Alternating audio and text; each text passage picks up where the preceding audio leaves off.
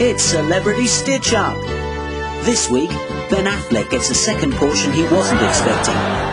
We throw Emma Thompson into a swimming pool. And Morgan Freeman is arrested. But first, please give a big welcome to your host. Thank you, thank you so much. Thank you, thank you. Come on, settle down, settle down. Shut up. Hi. Now, no one likes being burgled. It's a very traumatic experience and leaves the victim with feelings of depression and violation. But what if you've been burgled twice? Well, that's exactly what happened to our celebrity target this evening. Everton footballer Duncan Ferguson. Big Dunk has a reputation for being one of soccer's hard men, a real animal. But his world was turned upside down when he suffered two burglaries in the space of a year. He managed to catch one of the burglars in the act. Poor bastard.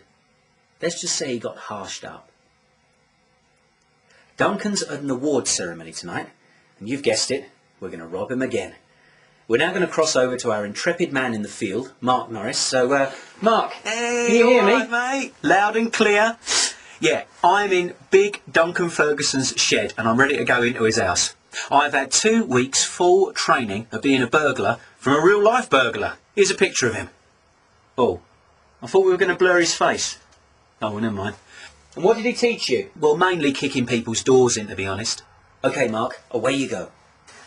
Here I go, no fear. Marc's got one minute exactly to steal as many items of financial or sentimental value as possible. We're going to sell them on eBay and give 25% of the profits to Childline. Marc, how are you doing?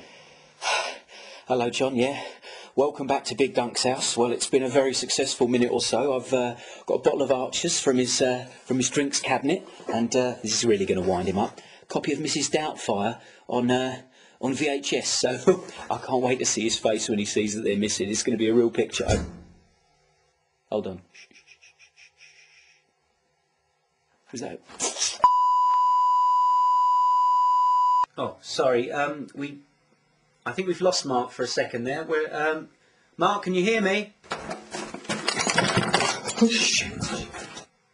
Marc? Where are you? I'm in a cupboard. Where's Big Dunk? He's outside the cupboard. I don't think he knows I'm here. I know you're in here somewhere. Hello.